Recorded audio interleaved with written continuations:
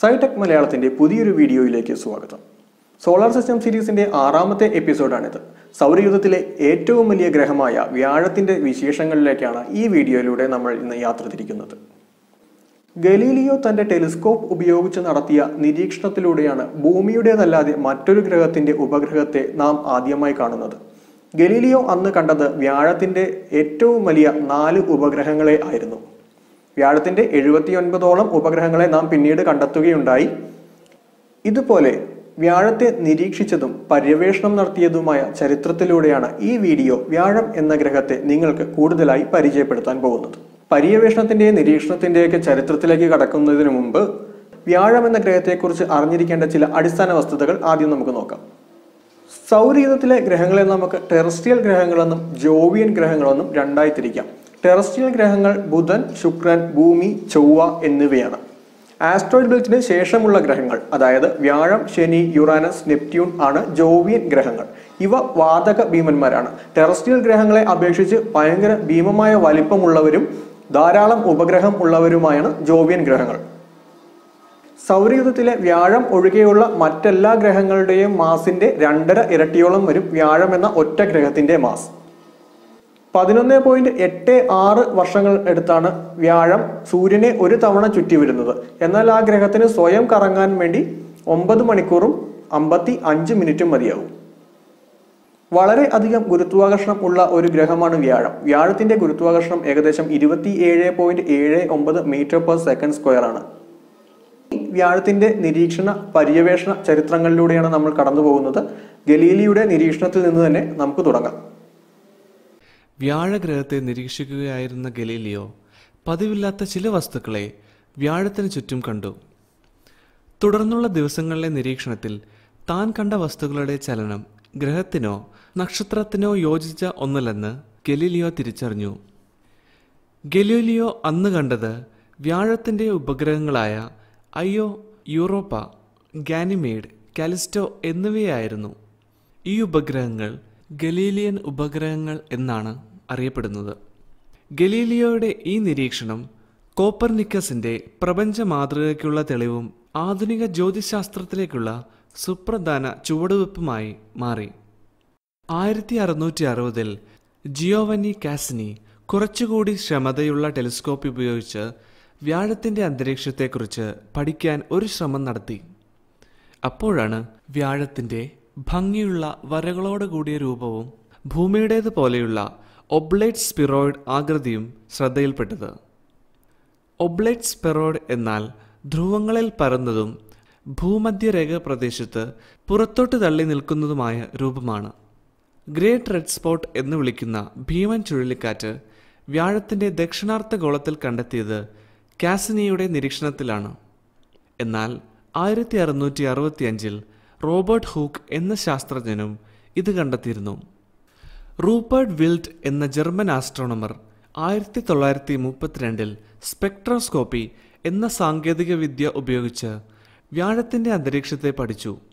അവിടെ ammonia methane മുതലായ വാതകങ്ങളുടെ സാന്നിധ്യവും കണ്ടെത്തി. വ്യാഴത്തിന്റെ അന്തരീക്ഷത്തിൽ ഭൂരിഭാഗവും ഹൈഡ്രജനാണ്. തുടർന്ന് helium methane ammonia hydrogen deuteride ethane ജലം മുതലായ മൂലകങ്ങളും ഉണ്ട്. കെന്നത്ത് ഫ്രാങ്ക്ലിൻ ബെർണാഡ് ബ്യൂർക്ക് എന്ന രണ്ട് ശാസ്ത്രജ്ഞർ ആയിരത്തി തൊള്ളായിരത്തി അൻപത്തി അഞ്ചിൽ റേഡിയോ ആസ്ട്രോണമി എന്ന സങ്കേതം ഉപയോഗിച്ച് ആകാശം നിരീക്ഷിക്കവേ അതുവരെ അജ്ഞാതമായ ഏതോ കേന്ദ്രത്തിൽ നിന്നുള്ള ശക്തമായ റേഡിയോ തരംഗങ്ങൾ ശ്രദ്ധയിൽപ്പെട്ടു. ആദ്യം അവർ അത് ഭൂമിയിൽ നിന്നു തന്നെയുള്ള ഏതെങ്കിലും ഉപകരണങ്ങളിൽ നിന്നാവാം എന്ന് കരുതിയെങ്കിലും തുടർ നിരീക്ഷണത്തിൽ ഈ റേഡിയോ തരംഗത്തിന്റെ കേന്ദ്രം തെക്ക് ഭാഗത്തേക്ക് നീങ്ങുന്നതായും തലേ ദിവസത്തെ അപേക്ഷിച്ച് നാല് മിനിറ്റിന് മുമ്പ് ഇത് പ്രത്യക്ഷപ്പെടുന്നതായും തിരിച്ചറിഞ്ഞു. ഈ നിരീക്ഷണങ്ങളിൽ നിന്ന് റേഡിയോ തരംഗത്തിന്റെ കേന്ദ്രം ഭൂമിയിൽ നിന്നോ മറ്റു നക്ഷത്രങ്ങളിൽ നിന്നോ അല്ലെന്ന് അവർ മനസ്സിലാക്കുകയും തുടർന്ന് ഒട്ടേറെ നിരീക്ഷണങ്ങൾക്കൊടുവിൽ ആയിരത്തി തൊള്ളായിരത്തി അൻപത്തി അഞ്ച് ഏപ്രിൽ ആറിന് അമേരിക്കൻ ആസ്ട്രോണമിക്കൽ സൊസൈറ്റിയുടെ ഒരു സമ്മേളനത്തിൽ തങ്ങൾ കണ്ടെത്തിയ റേഡിയോ തരംഗങ്ങളുടെ പ്രഭവ കേന്ദ്രം വ്യാഴം ആണെന്ന് ബ്യൂർക്കും ഫ്രാങ്ക്ലിനും പ്രഖ്യാപിച്ചു. ഇനി പര്യവേക്ഷണങ്ങളുടെ കാലഘട്ടം ആരംഭിക്കുകയാണ്. ആയിരത്തി തൊള്ളായിരത്തി എഴുപത്തിരണ്ട് മാർച്ച് രണ്ടിനാണ് വ്യാഴത്തിന്റെ സമീപത്തേക്കുള്ള ആദ്യ പേടകം പയനീർ ടെൻ ഭൂമിയിൽ നിന്ന് യാത്ര തിരിച്ചത്. ആയിരത്തി തൊള്ളായിരത്തി എഴുപത്തി മൂന്ന് നവംബർ ആറിന് ഈ പേടകം വ്യാഴത്തിന്റെ ചിത്രങ്ങൾ പകർത്താൻ ആരംഭിച്ചു. ഇതൊരു ഫ്ലൈ ബൈ ദൗത്യമായിരുന്നു. ദൗത്യത്തിൽ ഉടനീളം വ്യാഴത്തിന്റെ അഞ്ഞൂറോളം ചിത്രങ്ങൾ പയനീർ ടെൻ ഭൂമിയിലേക്ക് അയച്ചു. വ്യാഴത്തിന്റെ ഭൂമധ്യരേഖ പ്രദേശത്തു കൂടി സഞ്ചരിക്കവേ പ്രതീക്ഷിച്ചതിലും അധികമായി വന്ന അയോൺ റേഡിയേഷൻ അയോ എന്ന ഉപഗ്രഹത്തിന്റെയും വ്യാഴത്തിന്റെ ചില സമീപ ദൃശ്യങ്ങളും നഷ്ടമാവാൻ ഇടയാക്കി.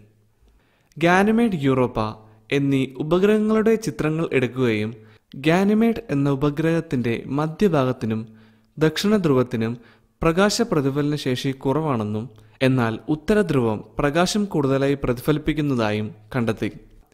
വ്യാഴത്തിന്റെ ഒരു ലക്ഷത്തി മുപ്പത്തിരണ്ടായിരത്തി ഇരുന്നൂറ്റി അൻപത്തിരണ്ട് കിലോമീറ്റർ സമീപം വരെ ഈ പേടകത്തിന് എത്താൻ കഴിഞ്ഞു. അങ്ങനെ വ്യാഴത്തിന്റെ ഗ്രേറ്റ് റെഡ് സ്പോട്ടിന്റെ ചിത്രങ്ങൾ എടുത്തു. കൂടാതെ വ്യാഴത്തിന്റെ ഇൻഫ്രാറെഡ് മാപ്പും തയ്യാറാക്കി. ഇതിലൂടെ വ്യാഴം സൂര്യനിൽ നിന്ന് സ്വീകരിക്കുന്ന താപത്തിലും അധികം ആ ഗ്രഹം പുറന്തള്ളുന്നതായി കണ്ടെത്തി. പയനീർ പതിനൊന്നാണ് വ്യാഴത്തിന് സമീപം എത്തിയ രണ്ടാമത്തെ പേടകം. വ്യാഴത്തിന് സമീപം കൂടി പറന്ന് ആ ഗ്രഹത്തിന്റെ അന്തരീക്ഷത്തെക്കുറിച്ച് പഠിച്ച പയനീർ പതിനൊന്ന് പിന്നീട് ശനി ഗ്രഹത്തിലേക്ക് യാത്ര തിരിച്ചു. വ്യാഴത്തിന്റെ നാൽപ്പത്തി രണ്ടായിരത്തി എണ്ണൂറ്റി ഇരുപത്തെട്ട് കിലോമീറ്റർ അടുത്തുകൂടി പറഞ്ഞ ഈ പേടകം ഗ്രേറ്റ് റെഡ് സ്പോട്ടിന്റെ വിശദമായ ചിത്രങ്ങൾ പകർത്തുകയും കാലിസ്റ്റോ എന്ന ഉപഗ്രഹത്തിന്റെ മാസ് കണക്കാക്കുകയും ചെയ്തു. പയനീർ പതിനൊന്നിന് ശേഷം വോയേജർ ഒന്നും രണ്ടും പേടകങ്ങളാണ് വ്യാഴത്തെ പര്യവേഷണം നടത്തിയത്. വോയേജറിനെ കുറിച്ച് വിശദമായി മറ്റൊരു വീഡിയോയിൽ വിശദീകരിച്ചിട്ടുണ്ട്. വോയേജർ പേടകങ്ങളുടെ പര്യവേഷണത്തിലാണ് അയോ എന്ന ഉപഗ്രഹത്തിൽ അഗ്നിപർവതങ്ങൾ കണ്ടെത്തുന്നത്. വ്യാഴത്തിന് ചുറ്റും വളരെ നേർത്ത വലയങ്ങളുണ്ട്. വോയേജർ ഒന്ന് പേടകമാണ് വ്യാഴത്തിന്റെ വലയങ്ങളെ ആദ്യം കണ്ടെത്തുന്നത്. ഏറ്റവും ഉള്ളിലുള്ള ഹാലോ റിംഗ് അതിനു പുറമെ മെയിൻ റിംഗ് ഗോസാമ റിംഗ് എന്നിവയുമുണ്ട്.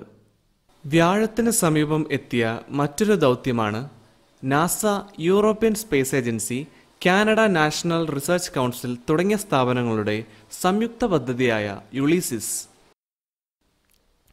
വ്യാഴമായിരുന്നില്ല ഈ പേടകത്തിന്റെ ലക്ഷ്യസ്ഥാനം. അത് സൂര്യനായിരുന്നു. സൂര്യനെക്കുറിച്ച് പഠിക്കാനായി വ്യാഴത്തിന്റെ സമീപം എത്തി ഗ്രാവിറ്റേഷണൽ സ്ലിംഗ് ഷോട്ട് ഉപയോഗിച്ച് സൗരയുധത്തിന്റെ പ്ലെയിനിന് പുറത്തു കടക്കുകയായിരുന്നു ഈ പേടകം. വ്യാഴത്തിന്റെ മാഗ്നറ്റോസ്ഫിയറിനെക്കുറിച്ച് ഈ അവസരത്തിൽ യുളീസിസ് പേടകം പഠിച്ചു. ആയിരത്തി തൊള്ളായിരത്തി തൊണ്ണൂറ്റിയഞ്ചിലാണ് ഒരു പേടകം ആദ്യമായി വ്യാഴത്തെ വലം വയ്ക്കുന്നത്. നാസയുടെ ഗലീലിയോ പേടകമായിരുന്നു അത്. ഏഴ് വർഷവും ഒമ്പത് മാസവും പതിമൂന്ന് ദിവസവും വ്യാഴത്തിനെ ഈ പേടകം വലം വച്ചു. ഷൂമേക്കർ ലെവി നയൻ എന്ന വാൽ നക്ഷത്രം വ്യാഴഗ്രഹത്തിൽ ഇടിക്കുന്ന ആ അപൂർവ നിമിഷത്തിന് സാക്ഷിയായ പേടകമാണ് ഗലീലിയോ. അതുകൂടാതെ ഒരു അറ്റ്മോസ്ഫറിക് പ്രോബിനെ വ്യാഴത്തിന്റെ അന്തരീക്ഷത്തിലേക്ക് ഇറക്കുകയും ചെയ്തു. രണ്ടായിരത്തി അഞ്ഞൂറ്റി എഴുപത്തഞ്ച് കിലോമീറ്റർ പെർ ഹവറിൽ സഞ്ചരിച്ച അറ്റ്മോസ്ഫറിക് പ്രോബ് അൻപത്തിയേഴ് പോയിന്റ് ആറ് മിനിറ്റ് വരെ ഗലീലിയോയിലേക്ക് സന്ദേശങ്ങൾ അയച്ചുകൊണ്ടിരുന്നു. അറ്റ്മോസ്ഫറിക് പ്രോബിൽ നിന്നുള്ള അവസാന സന്ദേശം ലഭിക്കുമ്പോൾ അത് നൂറ്റി അൻപത്തി മൂന്ന് ഡിഗ്രി സെൽഷ്യസ് താപനിലയിൽ ഇരുപത്തിമൂന്ന് അറ്റ്മോസ്ഫിയർ മർദ്ദത്തിലും ആയിരുന്നു. ഇതുകൂടാതെ വ്യാഴത്തിന്റെ അന്തരീക്ഷത്തിൽ തൊണ്ണൂറ് ശതമാനം ഹൈഡ്രജൻ ആണെന്നും താപനില മൂന്ന് ഡിഗ്രി സെൽഷ്യസോളം വരുമെന്നും അറുന്നൂറ്റി അറുപത്തിനാല് കിലോമീറ്റർ പെർ ഹവർ വേഗതയിൽ കാറ്റ് വീശാറുണ്ടെന്നും ഈ ദൗത്യത്തിലൂടെ കണ്ടെത്തി. ശനിഗ്രഹത്തെ പഠിക്കാൻ യാത്ര തിരിച്ച കാസിനി എന്ന പേടകം പോകും വഴി വ്യാഴത്തിന്റെ നിരവധി ചിത്രങ്ങൾ ഭൂമിയിലേക്ക് അയച്ചു. അതുപോലെ പ്ലൂട്ടോയിലേക്ക് പോയ ന്യൂ ഹൊറൈസോൺസ് എന്ന പേടകം വ്യാഴത്തിന്റെ ഗുരുത്വാകർഷണം ഉപയോഗിച്ച് സ്ലിംഗ് ഷോട്ട് നടത്തി. രണ്ടായിരത്തി പതിനാറ് ജൂലൈ നാലിന് നാസയുടെ ജൂണോ ദൗത്യം വ്യാഴത്തിന് സമീപം എത്തി. വ്യാഴത്തിന്റെ പോളാർ ഓർബിറ്റിലൂടെ പറന്ന് ഗ്രഹത്തെ നിരീക്ഷിക്കലാണ് ഈ ദൗത്യത്തിന്റെ പ്രധാന ഉദ്ദേശം. രണ്ടായിരത്തി പതിനാറ് ഓഗസ്റ്റ് ഇരുപത്തേഴിന് ജൂണോ വ്യാഴത്തിന്റെ ഉത്തരധ്രുവത്തിന്റെ ആദ്യ ചിത്രം ഭൂമിയിലേക്ക് അയച്ചു. രണ്ടായിരത്തി പതിനെട്ടിൽ അവസാനിക്കേണ്ടിയിരുന്ന ദൗത്യം ഇപ്പോൾ രണ്ടായിരത്തി ഇരുപത്തി ഒന്ന് വരെ നാസ ദീർഘിപ്പിച്ചു. ദൗത്യകാലത്തിന് ശേഷം പേടകത്തെ വ്യാഴത്തിൽ ഇടിച്ചിറക്കാനാണ് നാസയുടെ പദ്ധതി. വ്യാഴത്തിന്റെ മാഗ്നറ്റോസ്ഫിയറിൽ നിന്നുണ്ടാവുന്ന ഉയർന്ന റേഡിയേഷൻ പേടകത്തിന്റെ ഉപകരണങ്ങൾ തകരാറിലാക്കുകയും വ്യാഴത്തിന്റെ ഏതെങ്കിലും ഉപഗ്രഹവുമായി കൂട്ടിയിടിച്ച് ഭാവി ദൗത്യങ്ങൾക്ക് ഭീഷണിയാവാതിരിക്കാനുമാണ് ഇങ്ങനെ ചെയ്യുന്നത്. മുൻപ് വ്യാഴത്തെ പര്യവേഷണം നടത്തിയിരുന്ന ഗലീലിയോ എന്ന ഉപഗ്രഹവും ഇതുപോലെ വ്യാഴഗ്രഹത്തിലേക്ക് വീഴ്ത്തുകയാണ് ചെയ്തിരുന്നത്. വ്യാഴത്തിന്റെ ഉപഗ്രഹമായ യൂറോപ്പയുമായുള്ള കൂട്ടിയിടി ഒഴിവാക്കുന്നതിന് വേണ്ടിയിട്ടാണ് ശാസ്ത്രജ്ഞർ അന്നങ്ങനെ ചെയ്തത്.